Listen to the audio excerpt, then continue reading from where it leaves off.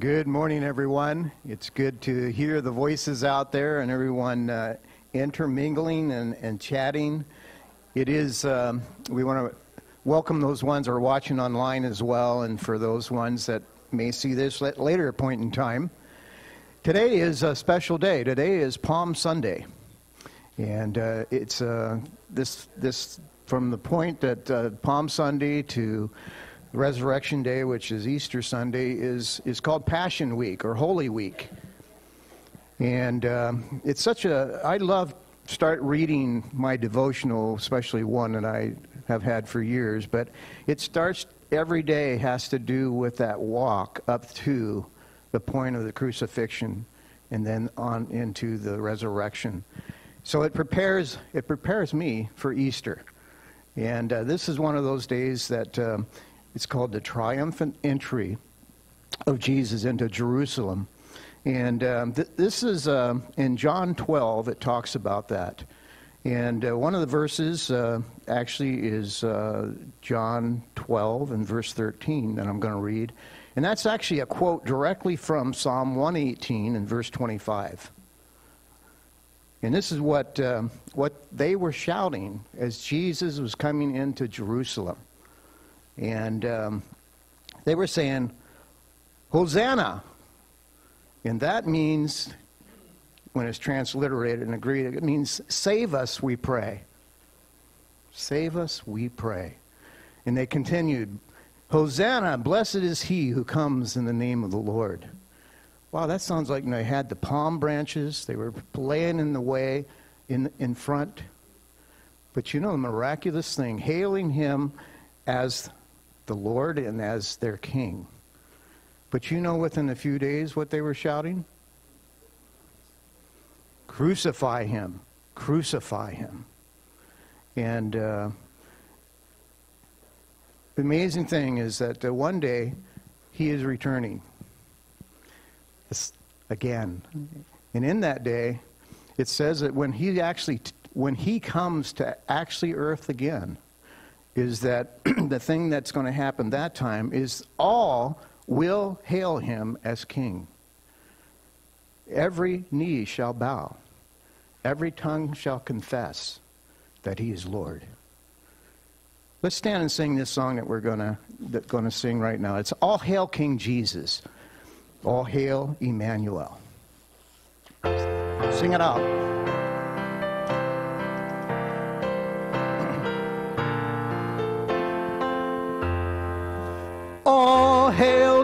Jesus, all hail Emmanuel, King of kings, Lord of lords, bright morning star. And throughout eternity, I'll sing your praises,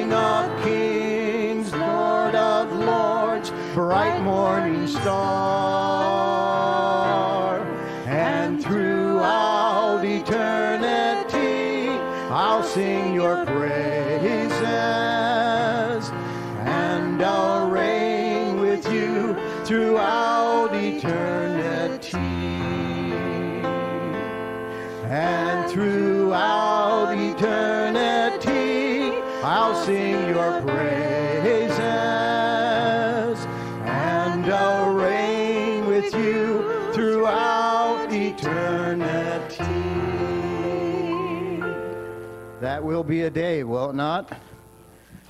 Reign with him through eternity. Continuing with, Worthy, you are worthy.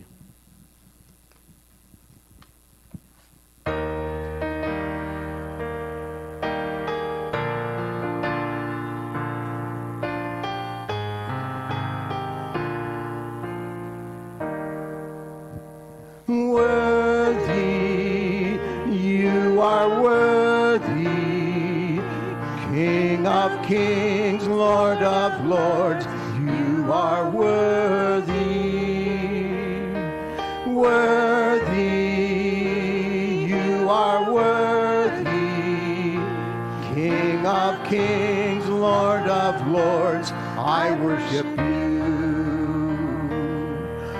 Holy, you are holy, King of kings.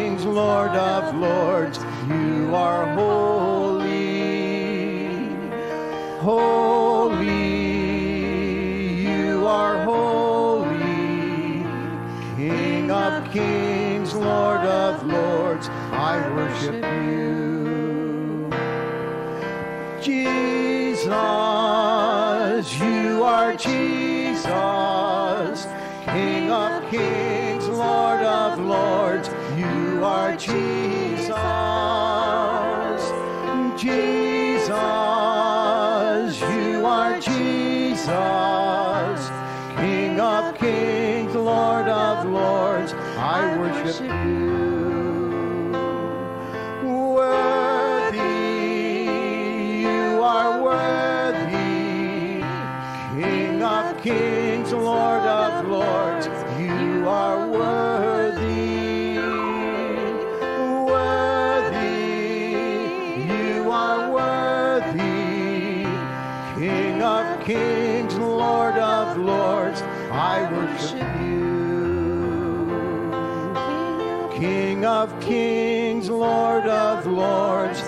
I worship you. Amen. Good singing. You may be seated. I am so glad to see all of your smiling faces out here uh, and on online. I was reminded yesterday we had a memorial service for Shirley Chrisman, uh, Lucille Kirshner's sister, and um, uh, several people said to me, "We watch you every Sunday," and so hello to you out there. I'm glad there's at least two of you out there. Uh, the fan base is growing. Okay, I got that. Yeah, and it's good to see Tom and Louise back from uh, uh, a long stay in California, and uh, their daughter Katie had an operation, and they were down there to um, help and encourage, and so it's good. And uh, and Mike and Karen, who um, were so, well, two of my favorites from back in the 80s. They were such a part of the, the church here and then have been in all of our life, and so, so good to have you back too. All right. Well, um, went to a movie uh, on Thursday night, and it was called The Ark and the Darkness. If you get a chance, you, you need to watch that. I, I think it's streaming, or you, you can, if you just plug it in, uh, there's, but we went uh, to a, a, theater and, and watched it. And if you're not convinced that the flood was a real thing, that it was a worldwide thing, that the ark was specially built to house all of the kinds of animals, and that it wouldn't tip over in uh, uh, storms and, and all of, or in the big flood. Uh, how, how the rock layers got laid out in, in the Grand Canyon and across the entire world. This, it's, it's a documentary form, but it is done very, very well. And it, it, continue, it, it makes you more confident that the biblical story is right. And all other stories fall so far short of it. And so I encourage you to do it because, you know, when we're studying in the book of Genesis, Genesis really lays the groundwork for the rest of the Bible. And so if there's something in Genesis that isn't right, that isn't true, that negates the rest of the Bible. The Bible has to be true from Genesis chapter 1 to Revelation chapter 22. It has to be true all the way through. There can't be one error, there can't be one mistake, there can't be one story thrown in just so it'll sound good. And so I would encourage you, if you can, to see that and to encourage others, and especially, especially, I know we have a lot of homeschool kids, but uh, if they're in the public school system, you need to give them some ammunition to at least have them raise their hand and ask a question. Just one of the things was laying of the rock layers. It was, it was so amazing because that happened with huge tsunamis that came across, and it, it laid layers down evenly, as opposed to any, any other slow process that might happen. And yet, at the end of it, you see rocks that are in S shapes. How do you put a rock in an S shape? Anytime I've ever tried to redesign a rock, it becomes pieces.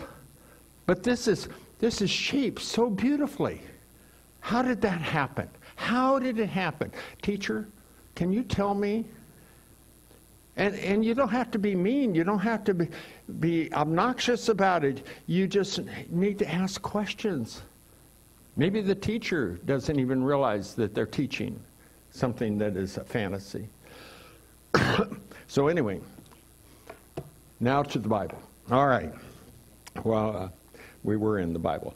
Um, this is, uh, turned out to be a two part sermon, and there was a gasp from the audience and saying, I don't believe it, Dave. I don't know how you do that.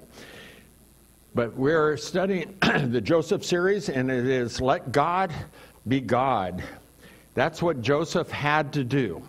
He had, he had no choice, really, but sometimes when we don't have a choice, we still kind of fuss and, and uh, talk to God about how things are not fair and that kind of thing.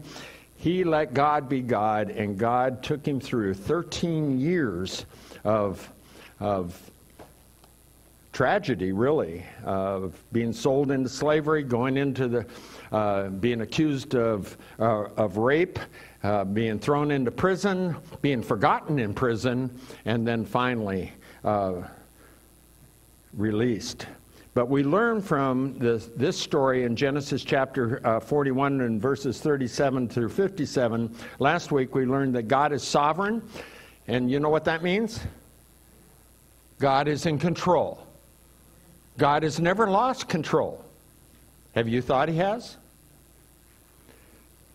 Well, theologically, I know that he hasn't. Practically, many times I feel like how can you let this happen? How is this happening? Why aren't, why aren't you coming? Because can the world get any more evil than it is right now? Apparently.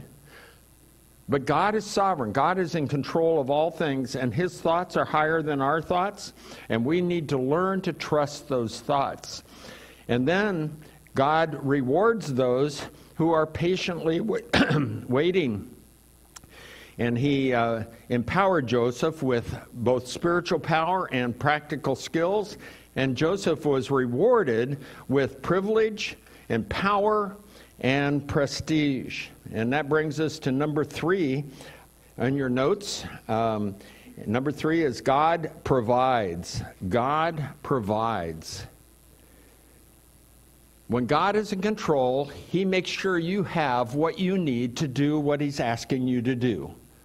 He's not going to call you to something that is above your pay grade, if you will. He will supply all the things that you need. And if you look at Joseph, where did he supply all the things that Joseph needed? As a slave, as a prisoner. That doesn't seem like a good training ground to me. But that's the way God, in his sovereign action, prepared Joseph for the greatest job that was available in the known world at the time. God provides. And in verses 46 um, and following, it says, And Joseph went throughout the land, I think getting to know the people and the country because he had he had been in the land, but he probably didn't get much traveling in. Now we're going to skip to the end of verse 46, and it says, And Joseph went out from Pharaoh's presence and traveled throughout the land. The one part that I left out of there was the phrase between these two verses Joseph was 30 years old when he entered the servants, service of Pharaoh. I was very mature at 30. Uh, that was not funny. You know, think about how mature you thought you were at 30 and how much more experience you needed to actually function in the world. I mean, not that we were inept at it or anything like that, that we didn't know anything. But at 30 years old, would you have been ready to run the United States? Well, based on current politicians, uh, probably. But would you have had that? Or in a company that you would, uh, you could be second in command to the CEO. You, you wouldn't have that kind of maturity and all of that. And yet, here is Joseph at 30 years old being handed the keys to the Egyptian kingdom. It's an empire, it is the major empire in the world. And Pharaoh basically is saying, Don't talk to me about anything, talk to Joseph. I'm still the king, I'm still in command, but you need to focus and talk to Joseph. 30 years old. And when you look at it, and he's traveling, uh, would he be able to govern the world empire? Would people respect him? Would he have the knowledge? And here's the key would he have the ability to handle the power? So many of us can handle adversity much better than we can prosperity. Could he handle the position? Would it go to his head? Would he buy a yacht for the Nile? What, what, what, what would he do with all this vast power? And we're going to see that God has prepared him and God has provided the things that he is going to need to run this vast empire. Letter A God provides the preparation for the task. God prepares the preparation for the task. Because you, you look at Joseph's life up until this time, he is a proven survivor. He's made it through some really tough years, 13 of them to be exact. From being in his father's favorite child with, with a beautiful robe that he, and, and having the authority to be able to go to be sold into slavery and 13 years of being off the grid, if you will. He suffered rejection, he suffered shame, sexual temptation, prison, but he emerged, like it says in 1 Peter 1 7, he emerged as gold refined by the fire. Many of us have the gold bands from our marriages, or we have other gold items. And you know, for that gold to be pure and good, it has to go through the fire. You, you can't make it beautiful without the fire. And God takes that same principle and He puts it on us, and He says, You can't be pure, you can't be usable unless you've gone through the fire. Now, the fire for us is, is different for each person. Some have gone through very difficult tragedies, some sicknesses, some diseases, some personal relationships that have, have not gone right. But that's, that's fire. And God puts us through the fire for a reason. And we never go through anything that isn't for a reason. And as we look at Joseph's life as he has gone through the prison and, and, the slavery and all of that, we're going to see that that was all preparation for what God wanted him to do ultimately in leading the nation of Egypt. He emerged like gold through severe testing. He showed what his strong point really was, and it gave him courage to face obstacles. I mean, what more could you do to a guy? And when they, you know, when he was in prison, they said they had shackles on his feet and around his neck. I don't think he was going to run any place, but they put them on him anyway. He had courage to face the obstacles. He had confidence to carry out his duties. He worked in Potiphar's house.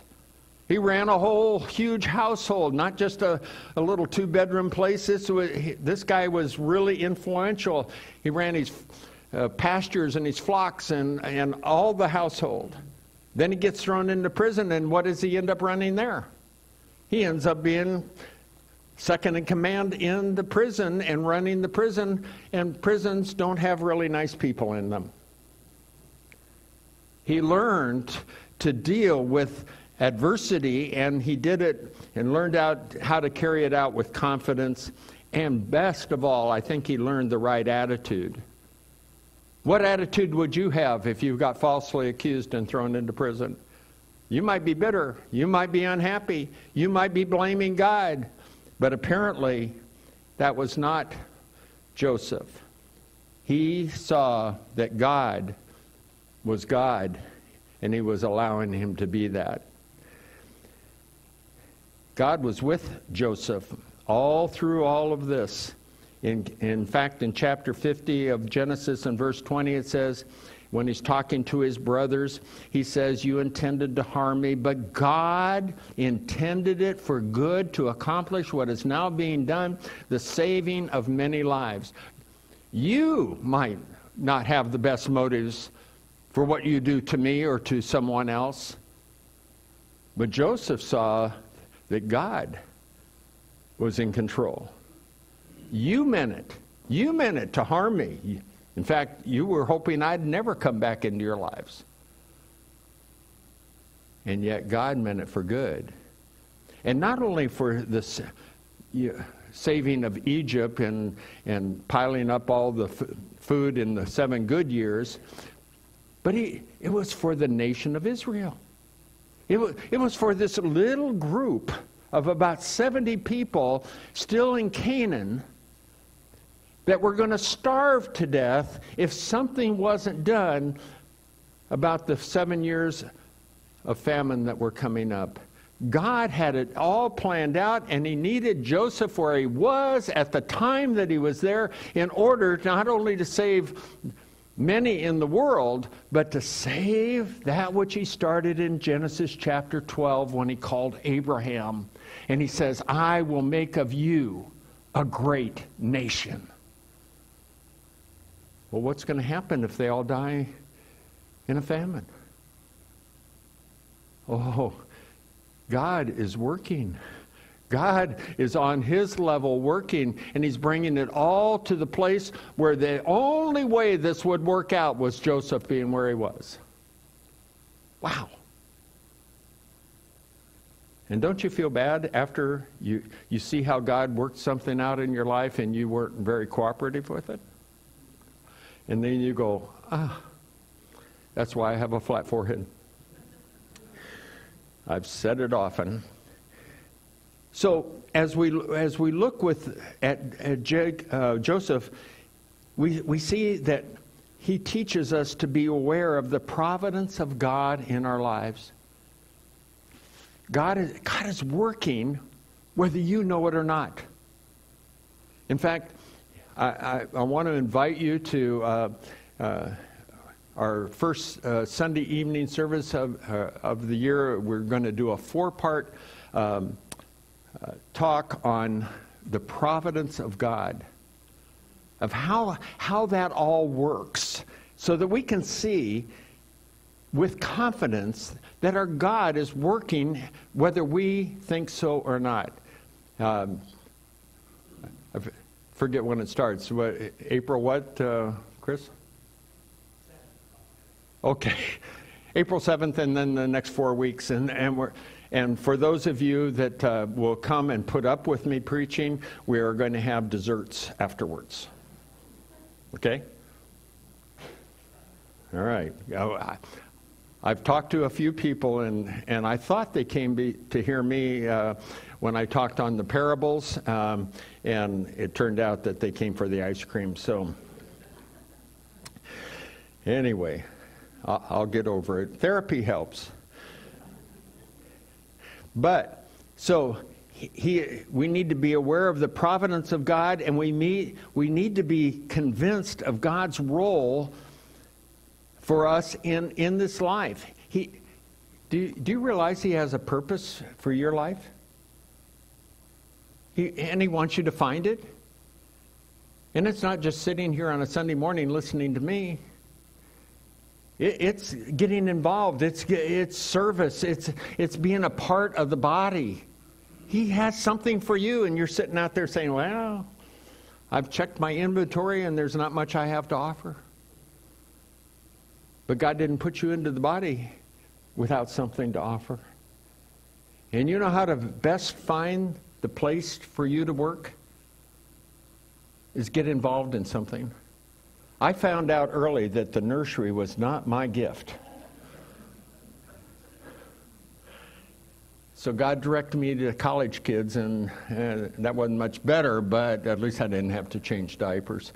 Uh, well, maybe. So get involved.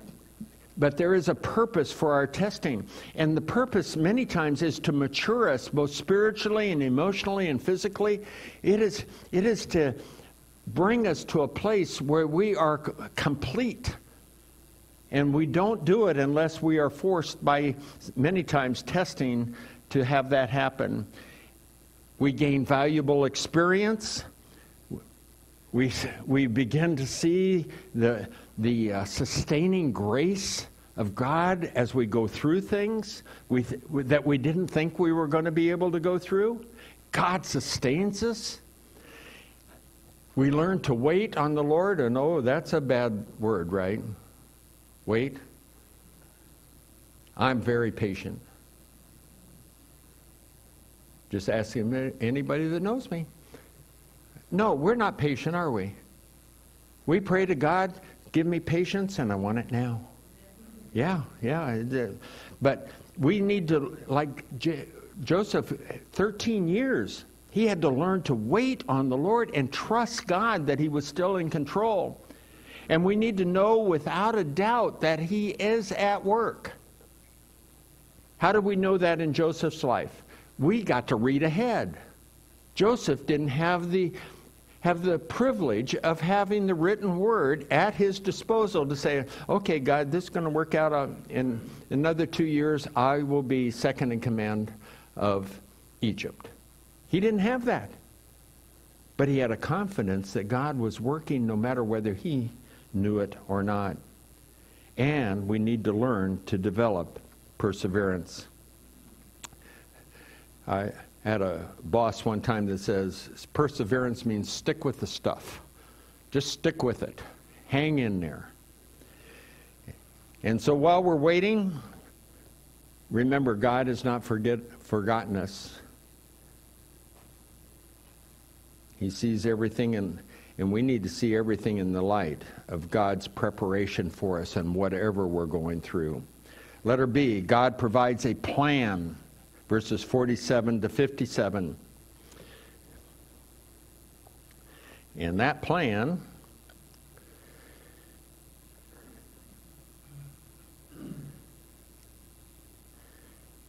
During, during the seven years of abundance, the land produced plentifully, or abundantly, I guess.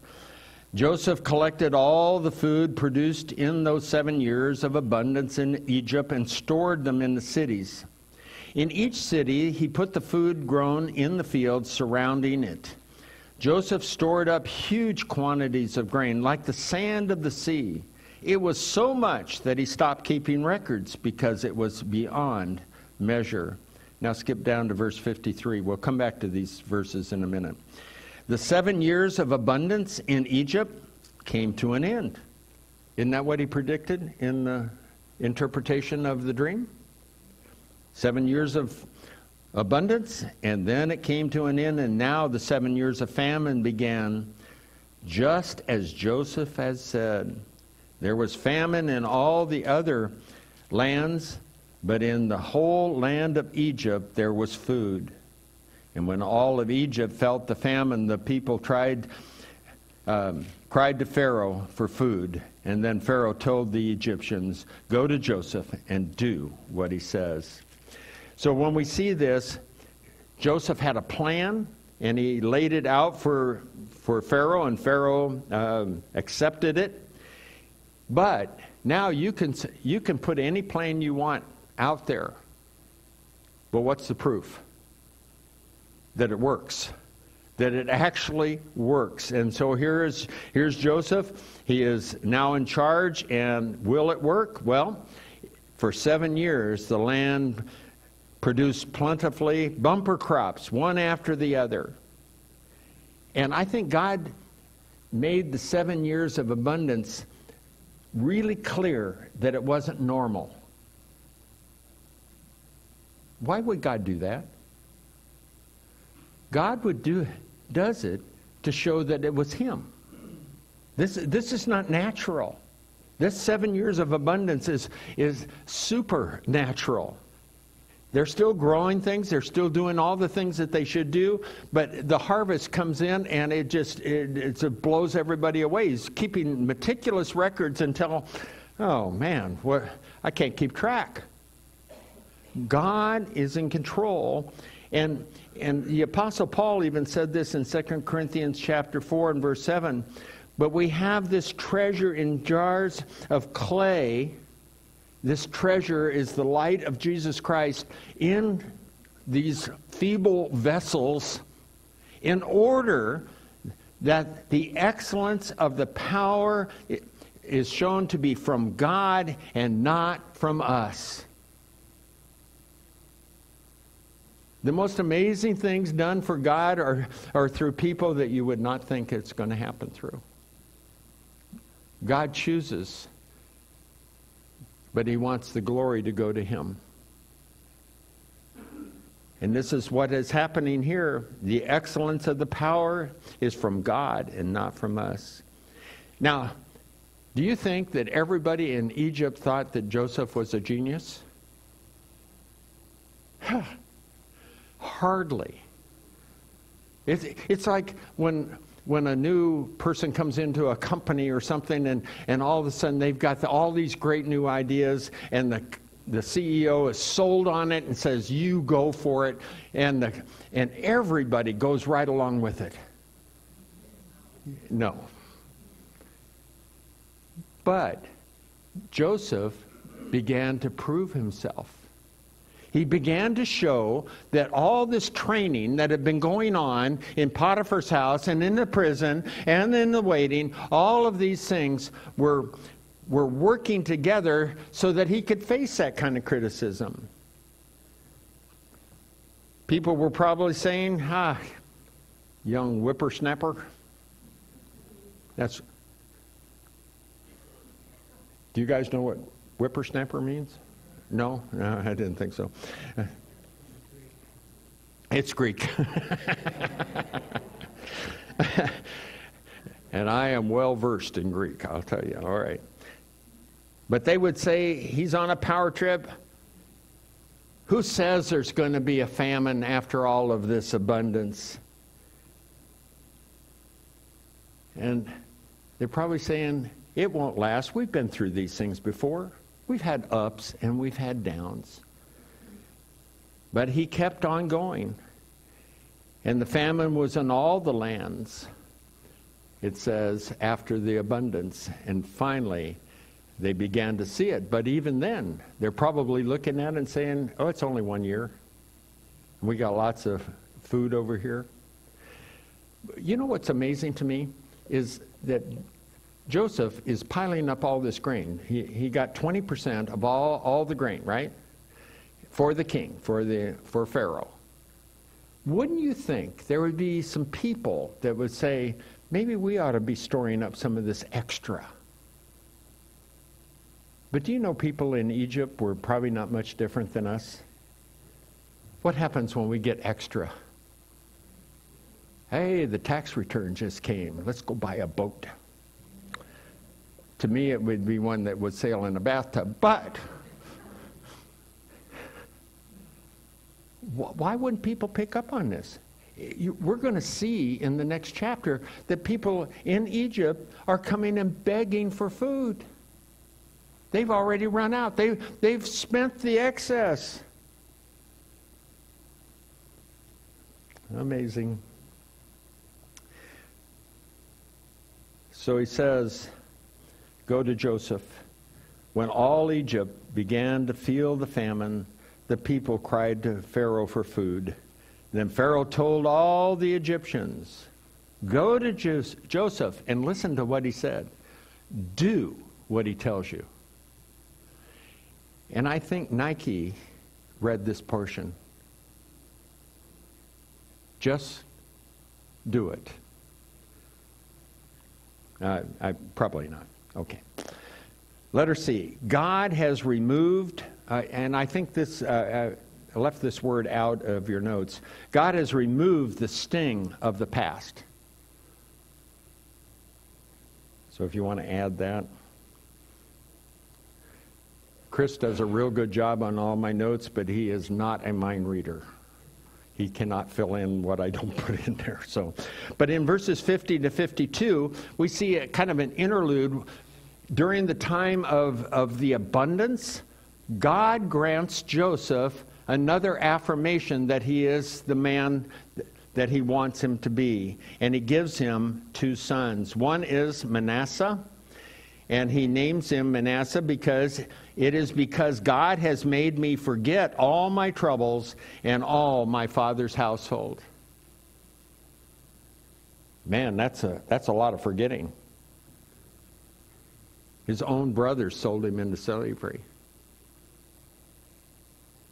Forget all of my troubles. 13 years of troubles, and, and yet he names his first son Manasseh. Joseph's key to survival really is his attitude, which is all by the grace of God. And some of us have not learned to get over the past. The past has, has things in it that we, we think we cannot overcome. They haunt us. But we live so much in the past, we forget that there is a present, there is a future. And we, we don't take advantage of the time that God is giving us right now because we're haunted by something in the past. And Joseph could have been that person. He could have been scuffing his feet and walking around and saying, Yeah, I was in this prison and I was this and I was that. He didn't do that. We, we need to be able to see that there is forgiveness there's peace, there's joy, there's family, there's friends. We need, we need to live in the present and enjoy it. And we also need to live towards the future. The ministry that God has given us and going to give us and work, work through us on. And we always are looking forward to heaven. When we are so consumed with the past, we forget what God has laid out for us as our eternal reward. It was so beautiful yesterday to talk about Shirley Chrisman because her life was lived for the Lord Jesus Christ. I, I love to do memorials for people who have lived for Jesus. When I don't have to kind of hem and haw around how they lived their life or talk in a way that people in the audience are saying, I don't recognize that person. Am I in the wrong funeral? And you've seen it, you've been in those. But to be able to see somebody that allowed the past to be forgiven, covered by the blood of Jesus Christ, the present opens up and our future is bright. Our salvation comes, and Paul says, We are new creatures. Therefore, if anyone is in Christ, he is a new cre- creation. The new has come, and the old is gone. Well, the old doesn't really go all that way, but the new can overcome it. And then he has another son named Ephraim. you'll notice these are listed uh, when we start to look at the tribes of Israel. Um, they are the sons of Joseph, and so instead of the uh, tribe of Joseph, it's Ephraim and Manasseh are, are the two. And they're still a representative. And he says this in verse 52 For God has caused me to be fruitful in the, in the land of my affliction. He has caused me to be fruitful in the land of my affliction. He's not talking about psychotherapy. He's not talking about trying to uh, just get right with the world.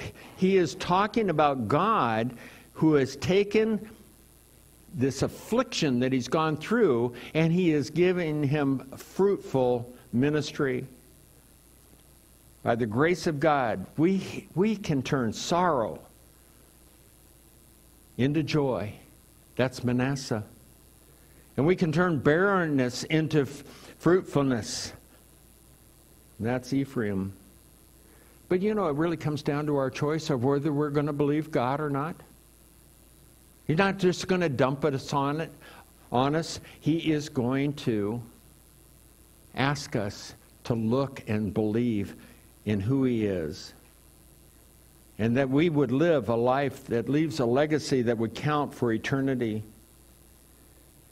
By God's grace, we can turn away from the past, face the brightness of God's future. It's in that future is in Christ. Make your life count for God. Number four, what can we learn from Joseph's story? Well, hopefully we've learned a few things already, but we're going to learn a few more. Letter A, we can endure trials by God's grace. Have you ever said, I can't get through this? This is too much? I, I can't believe what's happening. That diagnosis that the doctor just gave, or uh, what I came home and, and there was a notice on the door, you no longer live here. Uh, divorce and other things have come into people's lives, and we say, I don't think I can go on. When Claudia passed away, the one thing I thought, how, how am I, after 58 years of marriage, going to go on without her? But if you get trapped in that, if you see that you can't, you, you just say to God, I can't get through this, who are you dependent on? You're depending on yourself. Our eyes need to be fixed on the Lord Jesus Christ, and He gives us the grace to endure the trials. Joseph may have been a slave in Egypt, but he was not a slave to self pity. He may have been a prisoner, but not a prisoner of doubt and discouragement. Joseph kept his eyes on the Lord. Letter B. We can be free from bad memories. We, we're not able to erase bad memories, they, they never really go away. But we don't have to be slaves to them. And because Paul says this in Romans 6:16, don't you know that when you offer yourselves to someone as obedient slaves, you are a slave of the one you obey? whether you are slaves to sin, which leads to death, or to obedience, which leads to righteousness. Don't you know that? Which one are you giving yourself to as a slave? Hmm? Are you? Okay. Philippians, that was Andrew. He, he always comments on my sermons, and so I know I made a good point when Andrew says something. Philippians 4 8 says, Finally, brothers, whatever is true, whatever is noble, whatever is right, whatever is pure, whatever is lovely, whatever is admirable, if anything is excellent or praiseworthy, think about such things. And what happens when we get in the pit? When the things go wrong? We don't think those thoughts. But that's what God wants us to focus on. We can be free from the burden of past memory, bad memories. Letter C. Don't let the past hold you back. Joseph could have missed out on great opportunity had he had the wrong attitude. And many of us need fail to use our lives uh, and live them productive, productively because God, because something in the past happens or harmed us.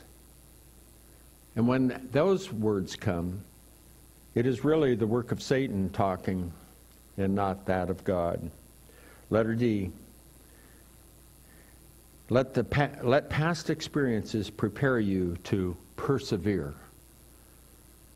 Stick with the stuff. Hebrews 10:36 says, "Patient endurance or perseverance is what you need now so that you will continue to do God's will." It is hard to keep doing God's will when it doesn't seem like it's working. When you are being kind to someone and they're not being kind back to you. When you are trying to serve in a particular area and it's just not working out, God says to you, stick with it. Continue to do God's will. Hebrews 11:27 says by faith he this is Moses left Egypt not fearing the king's anger he persevered because he saw him who is invisible he saw the God of the Bible. He saw the power of that God, the sovereignty of that God, the mercy of that God, that love of that God. He saw it without actually seeing God. And it caused him to persevere. And oh, did he have to persevere as he led the nation of Israel. 2 Thessalonians 1 4 says, Therefore, among God's churches, we boast about your perseverance and faith in all, listen to this, in all your persecutions and trials that you are enduring. They were sticking to it even though it was costing them. James 1, verses 2 to 4 says, Consider it pure joy my brothers, whenever you face trials of many kinds, because you think, oh, I think it's no, because you know that the testing of your faith produces perseverance, and let perseverance finish its work so that you may be mature and complete, not lacking in anything. Don't give up. Keep after it. God is right. The Bible is right. The, way that He has laid out for us is right. And sometimes we get about halfway through and we want to deviate. We want to doubt. 2 Peter 1 5 through 7 says, For this very reason, make every effort to add to your faith goodness, to goodness, knowledge, to knowledge, self control to self control, perseverance. To perseverance, godliness. To godliness, mutual affection. And to mutual affection, love. See, Joseph is telling us keep your eyes on the sovereign God who, in his providence, is making all things come out for your good and for his glory. Do you believe it? Amen. Let's pray. Father, we thank you that you continue to work in and through us. We thank you that you are a God who perseveres with us. And we pray that we would be like Joseph, that we would see that life's preparation, the things that we have gone through in our lives, have molded us and shaped us so that you can use us even now. And Father, my prayer for me has been I want to finish well. And I pray that same prayer for all who are here and who are listening online, that we might all finish well because of all the preparation that you have made in our lives. to be effective and useful in your kingdom. In Jesus' name we pray. Amen. Amen. To finish well, that's quite the statement. And um, it is something that uh, we wonder when, uh, when our time is past and those that are left behind, what they're going to be searching or looking through the things that we've done or kept or whatever, and what those responses will be, the memories that they will have. And um, as I was listening to, to Pastor Dave, I was thinking that uh, Joseph had interpreted the dream, he gave a plan. And I was thinking those first seven years, I imagine there's people marking the calendar. Month one, month two, year one, year, because they were thinking, this guy, I mean, I can only imagine what the news would be reporting today. We've got a guy that's in prison that's now second in command. Can you imagine? But they were waiting for that after seven years, what was going to happen.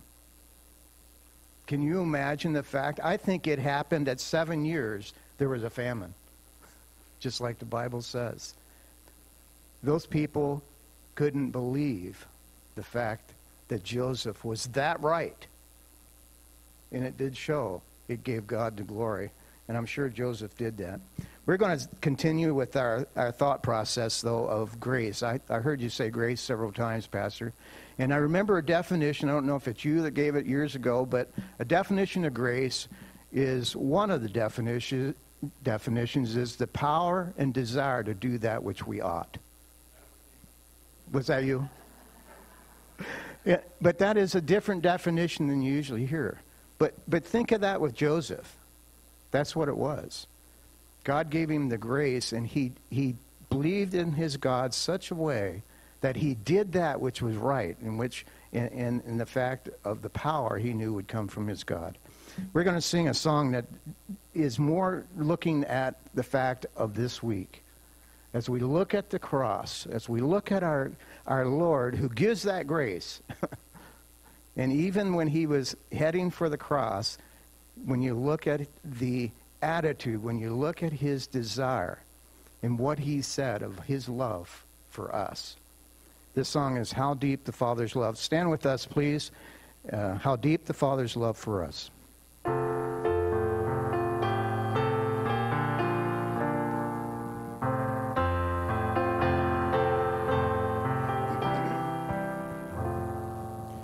How deep the Father's love for us, how vast beyond all measure, that he should give his only Son and make a wretch his treasure.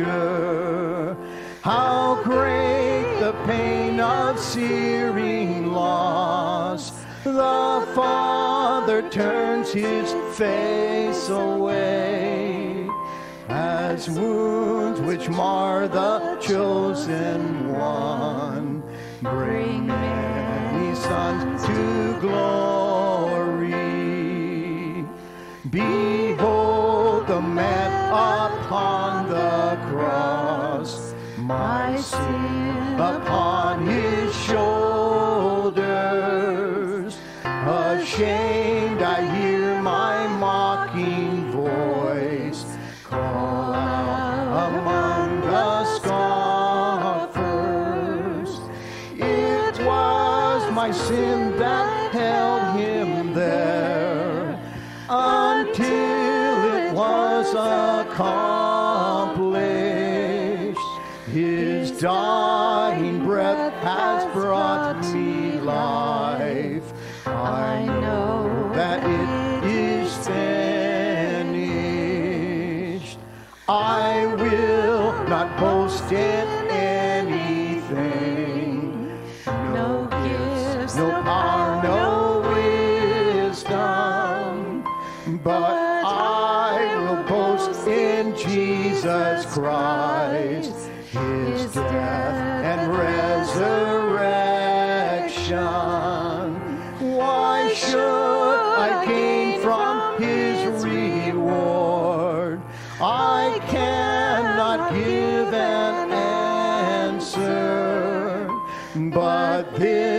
I know with all my heart.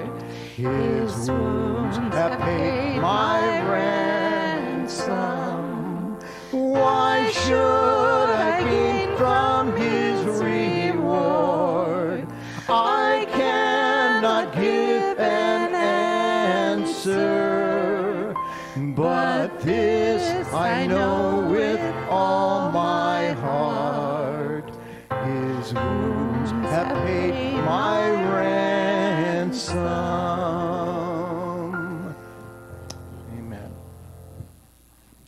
Then continuing with Calvary covers it all.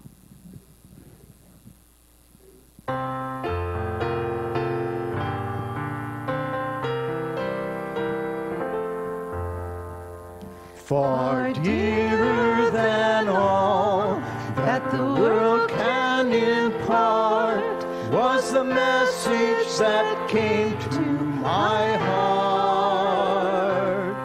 How that Jesus alone for my sin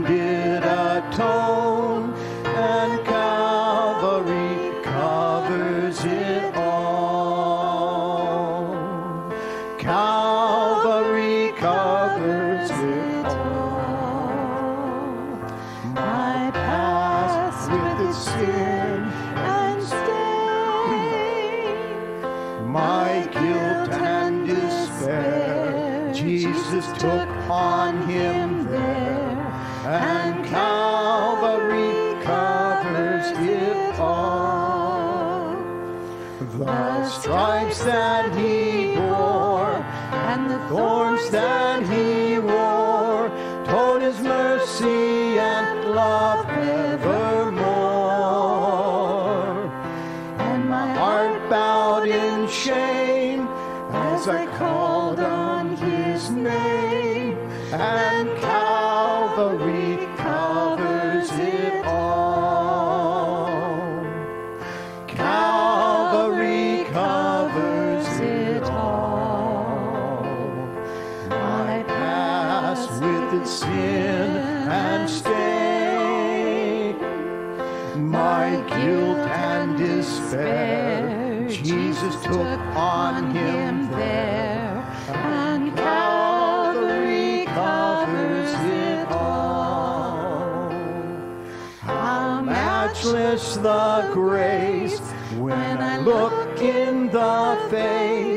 of this Jesus, my crucified Lord.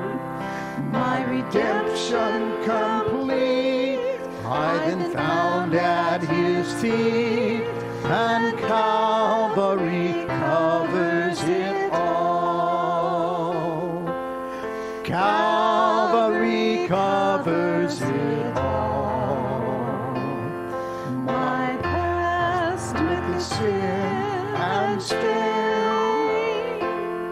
my guilt and despair, Jesus took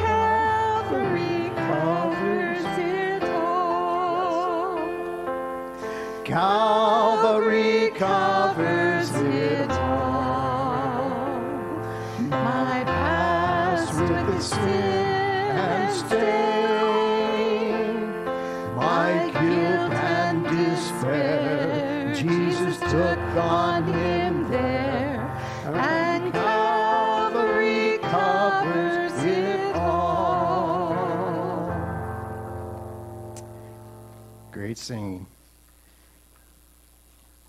And then on to the next one. Rejoice, the Lord is King. Sing it out.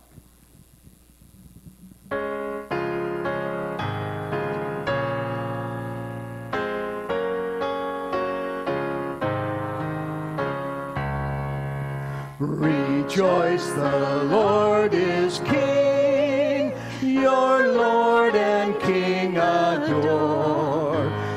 Rejoice, give thanks and sing and triumph evermore.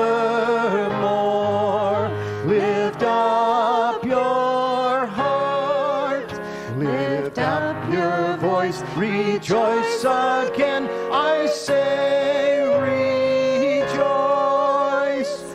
Jesus the Savior reigns, the God of truth stains, he took his seat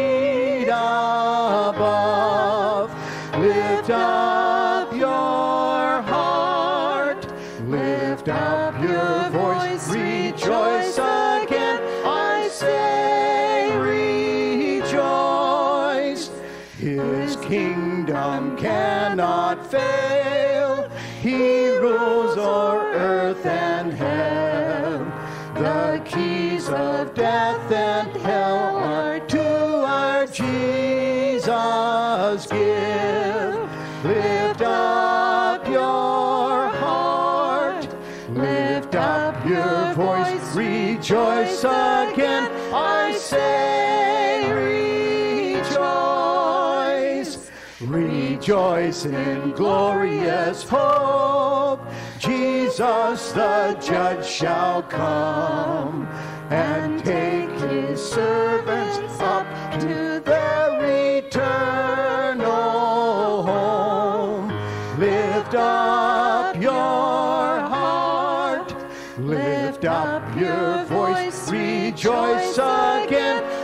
say, rejoice.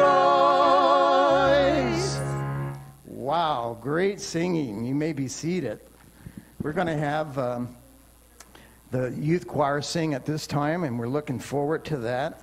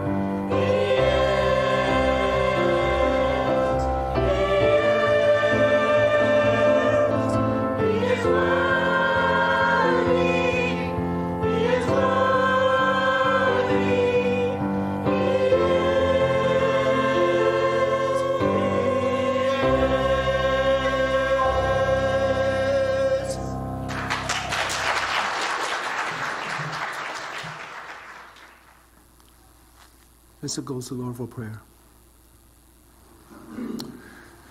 Our Father in heaven, hallowed be your name. Because of your great love, we're not consumed. For your compassions never fail. They're new every morning. Great your faithfulness. Hosanna to the Son of David. Blessed is the one who comes in the name of the Lord. Hosanna in the highest heaven. Lord, during the time of your triumphal entry into Jerusalem, people were shouting Hosanna as they're expecting a king that will come to save and deliver. But soon after, the echoes of Hosanna faded and was replaced with shouts of crucify him. Lord, as we ponder, as we contemplate on this Palm Sunday and reflecting on the, on the events that were to take place, it seems that what you have asked Martha, that you are asking us today. I'm the resurrection and the life. The one who believes in me will never die. And whoever lives by believing me will live. Do you believe this? Do I believe this? Lord, we ask that you strengthen us and give us faith in you to know that the Christ dwells in our hearts through faith. And so that we may grasp how wide and long and high and deep the love of Christ is. Lord, we also ask that you increase our fear in you. So now we will not we will not show contempt of the riches of your kindness, of your forbearing and patience, and not realizing that your kindness is intended to lead us to repentance. But we ask that you guard the feet of your faithful saints, and the wicked will be kept in the place, in silence, in the place of darkness. For all the, in, in, spite, in spite of the difficulties and, and, uh, and the problems, due to our the reluctance that we that you have left in our lives, we just ask that you make us not to hear but to see that your grace is sufficient for us, that your power is, is, is made perfect in our weakness. Lord, we ask that you watch over our, watch over our lives and watch our going and coming, both now and forevermore. I pray in the name of Jesus Christ. Amen. Good morning. Well, first I want to thank our youth choir. Uh, your performance was beautiful, and your choice of songs brought a tear to my eyes. Well, today is Palm Sunday, as we've mentioned before, and it's something that you can find in all four of the Gospels. And if you uh, picked up a bulletin as you came in, I, I suspect that on the front there's a Bible verse you can find there. That, that if you go to that Bible verse this week in your reading and uh, read from there, you'll remember what uh, Palm Sunday is all about, and you'll remember what uh, Jesus did during the Passion Week and uh, the events of that week. So any one of the Gospels will take you there. And uh, also, if you want to do some further reading, you can go back to Zechariah chapter 9, where 500 years before the events happened, that prophet said, Here's what's going to happen. And he did that because God told him to say that. So, okay, well, we have a business meeting coming up after this meeting. So, uh, after we finish the final uh, music, uh, James will look at the clock and say, Come back in, and he'll tell you when that time is so you have a few minutes to get catch your breath and uh, drink some water and etc. And uh, we uh, usually take less than an hour. We only do it once a year, and we'll give you a little update on what happened last year and what our plans are for this next year.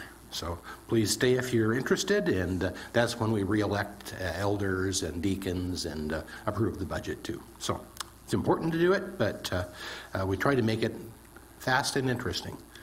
All righty. Well, in the following week, next Sunday, is Easter, of course, and so we'll take a little vacation for uh, from Genesis for that, and we have a special uh, message that Pastor Dave's prepared, and you'll want to come for that. And then uh, we'll come back to Genesis the next week, and the next week is uh, April 7th. Uh, the math was right. So that evening, you can come here, and we'll start the Providence uh, series at uh, 6 o'clock. So that, that's a, uh, a slightly abbreviated service, but we have a teaching from the on the subject of providence. I think Pastor Dave said he had 61 different lessons he could do, but he picked uh, four of the best. So uh, we will uh, sing some songs, and you'll have an opportunity to pick songs t- for the following week. So we'll talk about that next week. So wh- how do you do that? And then uh, we do have dessert afterwards. So hope, hope you join us for that. And let's see what's up. Oh, you remember, not that long ago, we had a nurse from CareNet come and tell us about what's going on in their ministry and all the good things that uh, they're doing to uh, help young families uh, in this uh, King County and Pierce County area, and uh, especially to help uh, babies who are on the way complete their mission and come to take their first breath. And um, one of the things they have, actually, I think they have a couple of them, but one of them is they have a mobile clinic that drives around to areas where they don't have a brick and mortar location. And uh, th- there you can, uh, if, you're, if you're a woman, you can get an ultrasound and see if uh, you, in fact, are uh, pregnant and what your baby looks like. And if you remember from prior reports, over 90% of the women who, and it's upper 90s, women who choose to uh, get that ultrasound with them deliver the baby. So we are excited about that. But you may remember that one of their mobile clinics was totaled in an, a vehicle accident, and uh, they had to go out and find a new one. And just this last week, the new one was uh, launched and it's uh, traveling around. And uh, if you uh, look uh, in the bulletin boards when you take our little break here after between the service and the meeting, you'll see pictures of it. And the uh, people who drive the van and who do the work in the back of the van, or maybe it's an RV, but anyway, they have some prayer requests for us, so you can look at those. So anyway, they're they're out there and they are doing their best. And one of their prayers is that they would uh, find good locations where they could serve near the new abortion clinic in Renton. So let's uh, be praying for them. Okay. Uh, while you're between the two uh, meetings, you can stay and look on the screen. You'll get to see the sermon notes up there, uh, and you can fill in any blanks that you missed in your notes. And you'll also see the uh, gospel message and how to come to Jesus through prayer if you haven't already done that too. Okay, well, we're going to an abbreviated one year Bible uh, this week. We had a, the long director's cut last week. But uh, just to bring you up to the basics of the one year Bible program. A one year Bible is, is the complete Bible with the readings uh, resorted so that uh, every day you can read for 15 or 20 minutes and be reading something. And in 365 days, they don't have, have a leap year section, but in 365 days, you will complete the reading of the whole Bible. And we give those away. And we just had a new delivery this week, so there's plenty. If you haven't started, uh, we're just not quite a quarter of the way into the year, so it's a great time to be starting it. Books are on the front table, and you can get one of those. And then, yep, there it is. Good, perfect. Uh, we have on our website more information about the program and information about different ways that you can do it. If you're if you're not one of the people who likes to read in a paper book, there's audio editions you can get uh, through their website. You can get online editions, and there's study aids that come with all those. So uh, visit our website. The uh, URL address is up there on the screen, and uh, it'll get you to it really easily. Okay, well, I think I see our uh, uh, ushers there. They're ready. So let's go to the Lord again in prayer, and then they will receive the offering that you've brought today. Dear Lord, you are so good. We remember the honor that was given to you that one morning, the Palm Sunday, and then we remember what you did for us after that, what you went through, and your triumph as you rose from the grave, did final instructions to your disciples, and then went to sit at your Father's right hand until the time when you will come for us. Lord, we just thank you that uh, you are so good that you provide us the breath, the, the land on which we stand, the food we eat, the jobs, the people we love. All these things are from your providence. And Lord, we just thank you for them. Thank you for this chance to serve in this ministry in our acts, with our treasure, and with our hearts. In Jesus' name we pray. Amen.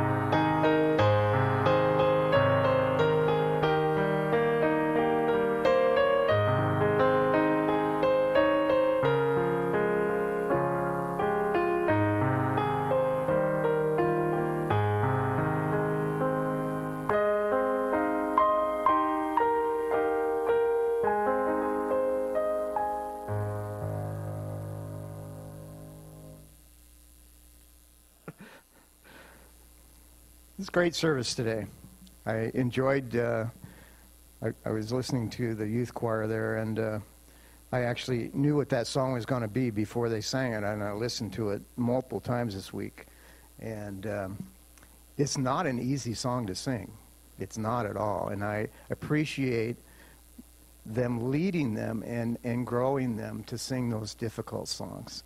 And uh, that is great. And it, and it sounded great. Um, want to sing, I just close with a song, and um, just uh, scripture as we sing this is just the fact that for by grace are you saved through faith, and that not of yourselves. It is a gift of God, not of works, lest any man should boast. And someone had said the only way we can love him is because he first loved us, and we see that in 1 John 4 19, of course. But uh, watch the words uh, as the uh, gentleman that wrote this, his name was Avis M. Christiansen, and uh, it talks, I think, a lot about our, our grace of our God and our Father. So let's stand and sing Blessed Redeemer.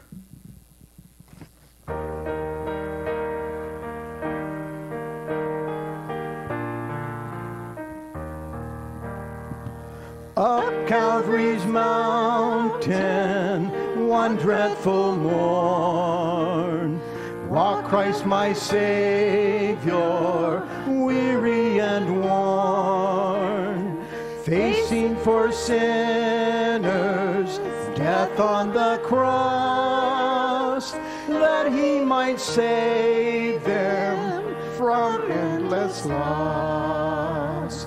blessed Redeemer,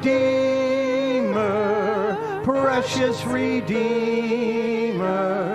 Seems now I see on Calvary's tree, wounded and bleeding, for sinners pleading,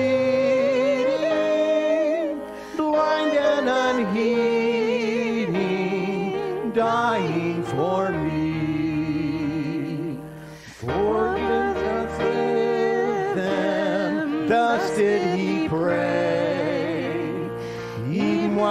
His lifeblood flowed fast away, praying for sinners while in such woe.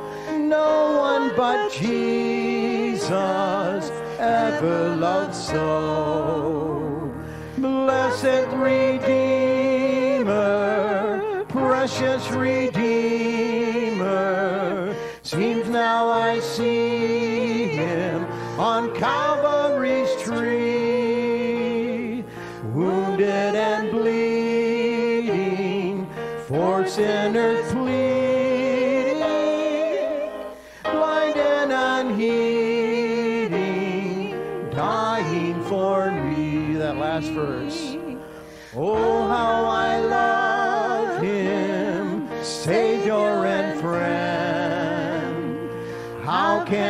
praises ever find end? Through years unnumbered on heaven's shore, my tongue shall praise him forevermore. Blessed Redeemer, precious Redeemer,